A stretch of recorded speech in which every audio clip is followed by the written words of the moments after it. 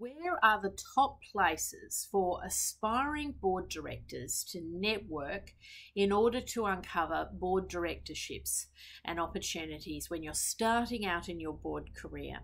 Now, this is the, the sad reality. If you're not prepared to network, you're really going to struggle to secure board roles.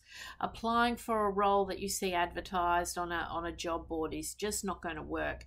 You really have to forge meaningful relationships with board directors but that's not easy. When you're a senior executive, you're not necessarily rubbing shoulders with chairmen and non executive directors and the most senior people, the captains of industry. You don't necessarily rub shoulders with them at the local cafe or at a local uh, business function. So, where should you be networking if you are an aspiring board director? The first port of call are what I call um, advisory firms. So, um, professional accounting firms, professional, uh, you know, boutique advisory firms, uh, anything to do with the law or accounting or business advice, mergers, acquisitions, all of that kind of activity, you will often find good quality opportunities to network with very, very senior individuals. So I look at, you know, your big four, for example, you know, corporate functions that they may host. Um, I look at uh, networking events that are hosted by law firms. Uh, and these invites come into my inbox and I uh, solicit them and then I obviously leverage my network in accounting and legal firms because that is a really good good source of opportunity for me to connect to chairmen and board directors. And you'll often see them at the functions, at the boardroom, round tables. Um, you know, specialist advice is where you'll often see these these opportunities to connect with really senior individuals. So that would be one port of call. I'd also be trying to tap into uh, the private equity uh, sort of channel. So you in Australia you have the Australian uh, Investment Council. You have which used to be called AVCAL.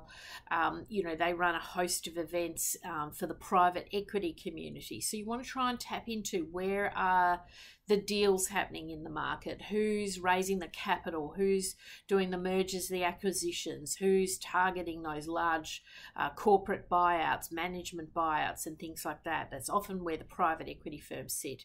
So, again, that will bring you into contact with very, very senior business executives who are involved in that deal making, if you like. So, I, I would tap into those networks. Um, I'd have a good close look at the startup incubator communities because they're uh, raising capital for high potential companies. So, again, I see a lot of pitch events. I see a lot of uh, groups that are hosting uh, networking functions. So, you know, they're, they're all across every city in Australia. So, there are incubators, accelerator groups, uh, where smaller companies come together to uh, try and grow, accelerate their businesses. And so they're very, very helpful for networking and, and again, connecting to uh, private equity channels, maybe even family office money, and so on. Um, you also then just want to kind of have a broad brush approach from there and look at private clubs. Private clubs can still be very relevant in today's modern context, and um, there are no real um, gender barriers in a number of these clubs, although in some clubs there still are. So uh, you need to sort of look for opportunities to connect. I'm a member of a number of private clubs, so private golfing clubs, private business networking clubs. Often you have to be nominated to get into these uh, circuits. Uh, you have to be vouched for. People need to uh, be, you know, really across you. But it is a very, very valuable connection once you're in these clubs and, you know, take full advantage of the events that they host and so on.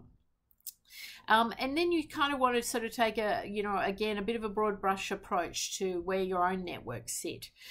I think heading into this year, one of the keys to your success would be having a really defined networking strategy. How are you going to meet with quality board directors, uh, non executive directors, advisory board members. How are you going to get into the networks that are going to bring you into contact so that you can forge relationships and build rapport, uh, share your thought leadership, and so on? So, you really want to have a good, close look at events, event calendars, have a look at our website. We promote a number of events that are being hosted every month uh, through our business partners and our colleagues who are, are running you know events and then in addition to the events themselves and the physical kind of connection you need to sort of also have a reach out approach on you know places like linkedin and uh, an introduction approach how you can be introduced to key people. So i think it's a really important uh, issue for aspiring board directors because you're going to have to learn and find simple ways to connect in a meaningful way. And you're going to have to be quite structured and diligent about it. On a on a monthly basis. Who are you connecting with this month? Think about what your plan is for february. What are what are your connection points? What events are you going to? Uh, and how are you going to forge those meaningful connections